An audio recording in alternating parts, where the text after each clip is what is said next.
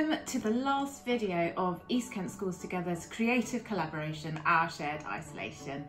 I am Esther Miles, the artist in residence for East Kent Schools Together.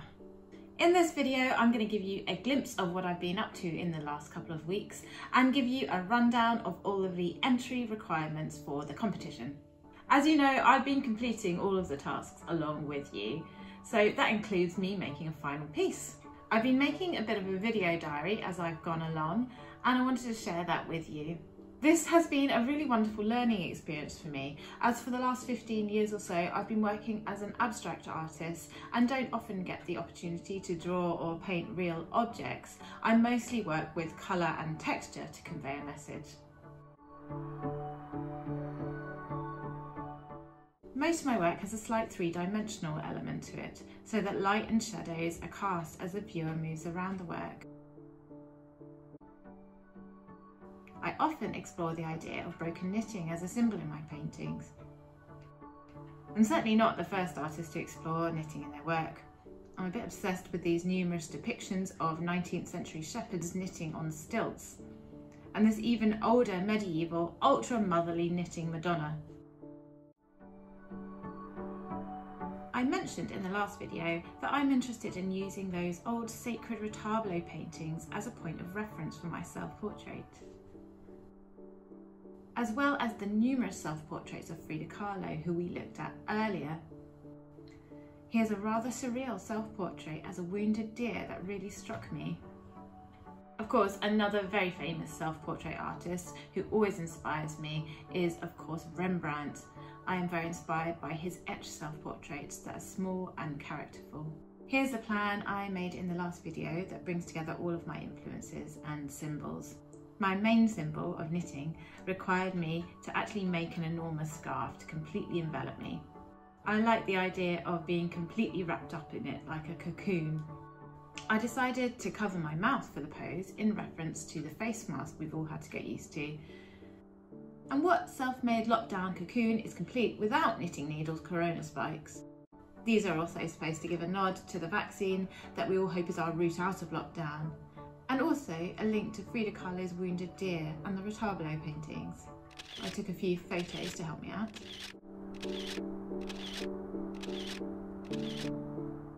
and from these I made a drawn study. As Mark Pulsford suggested in his interview, doing lots of studies in a variety of media really help you get to grips with all the visual information you're working with.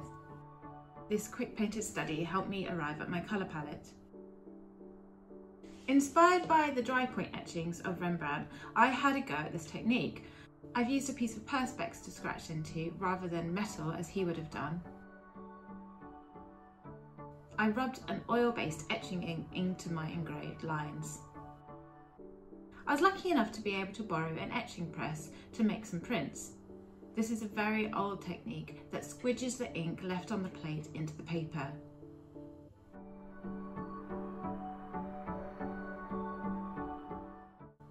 Here is the printed triptych.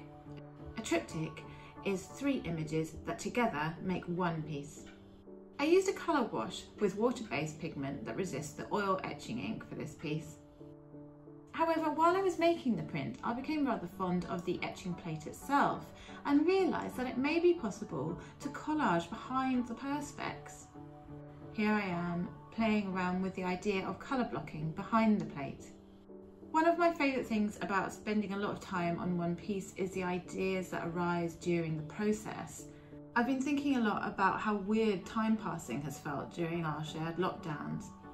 I was wondering how to best portray this idea of suspended time. I thought about the old practice of flower pressing and the idea of capturing, separating and preserving.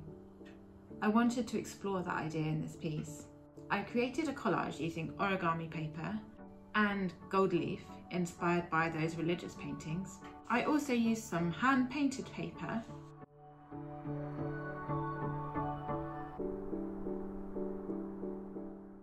more gold leaf.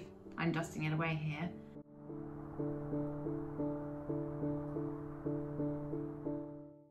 And some Perspex blobs.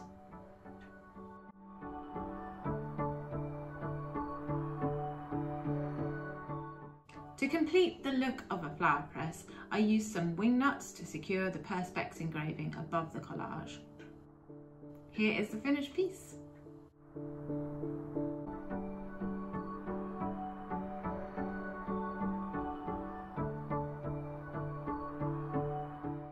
Thanks for watching that. There's no specific worksheet this week. Instead, I want you to concentrate on working towards your final submission. The deadline is the 30th of April. Please don't worry if you feel like you're really behind. You've still got a couple of weeks to get everything together and that's plenty of time to make some really good work. The most important thing you need to submit, of course, is your finished piece. Your finished piece will be a self-portrait that includes at least one symbol of what has connected you to the outside world during your periods of isolation. What is most significant to the judge and I will not be your technical skill, but actually the message you are conveying through your work, i.e. what it says about you and your time in lockdown. You can work in any size or medium. You can use photography as a starting point for your piece, but the finished piece should not just be a photograph. It needs to be hung on a wall, so it shouldn't be a sculpture. As I'm still not able to physically visit you in your schools, you need to submit your work digitally to your art teacher.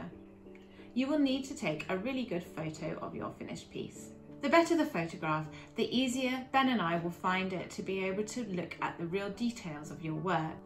To take a good photo, hang or stick your picture to the wall.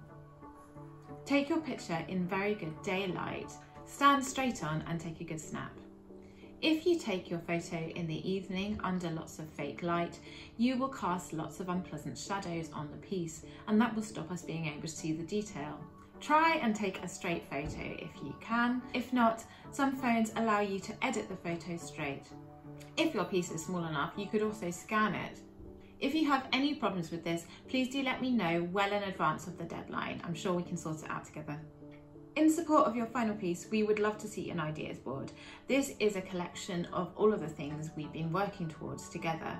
This could include your postcard, your artist studies, drawings of your symbolic object, sketches of yourself, photographs, explorations with different material and any other notes.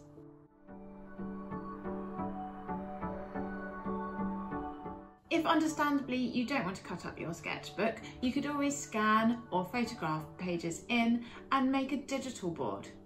Either way, you need to submit it digitally to your teacher by the deadline. The final piece of supporting evidence we would like to see is a short video presentation of up to two minutes. There have been some really good videos on these, so do take a look. This video is just to help us get to know you, so please don't worry about making it super professional. In it, you can be as creative as you like, but we do need to know the following. Your name and school. So I'm Esther from East Kent Schools Together. Who has inspired you? I was inspired by Rembrandt, Frida Kahlo and those Retablo paintings. What symbol or symbols have you used and what does it tell us about our shared isolation? Knitting is my main symbol. It connects me to others because I've made a lot of knitted gifts for friends and family over our lockdowns. I have also used the needles as a reference to the corona spikes and to the vaccine. I've also used brushes as a reminder of this project and our shared creativity during this project. I used the idea of the flower press to remind me of this strange suspended time in lockdown. What medium have you used and why? I've worked in mixed media. I like how all of the different textures work together and the layering aspect supports the idea of the flower press. And a name for your piece. I have called my piece Self-Portrait as Corona in a Flower Press. Again, you will need to submit this video to your teacher in MP4 format. You can take the video on your phone. So to recap, by the 30th of April, you will need to submit to your teacher the following. One finished piece, an ideas board, a very short video. The overall winner will win a fabulous photo shoot with professional photographer Ben Anker, who is also the guest judge for our competition. He will take a piece inspired by your final piece. You will also win a voucher from Cowling and Wilcox who are kindly supporting this project. The runners-up from each of the participating schools will also receive a voucher from Cowling and Wilcox. Right now, everything looks good with restrictions easing on time. So if everything goes to plan, we will have a physical exhibition in the summer. It will be such a wonderful opportunity to get everybody to see your work. Either way, we will definitely get your work seen by a lot of people. I would like to say a massive thank you to all of your schools and especially to your art teachers who have been so positive during the project. A huge thank you to Sarah Moyer, who has coordinated this project and has been constantly on hand to help me get organised. Lastly, and most importantly, a gigantic thank you to you guys that are taking part in the project. I've been so overwhelmed by how engaged and positive you have been, and also by the beautiful work that you have submitted throughout the project. I hope that you also feel that this has made our shared isolation a little bit brighter. Your work will be such an important record of these strange times that we are living in, and that really is what being an artist is all about. So thank you. For now, I'm going to bid you a very fond farewell and wait with bated breath to see your final submissions. Bye!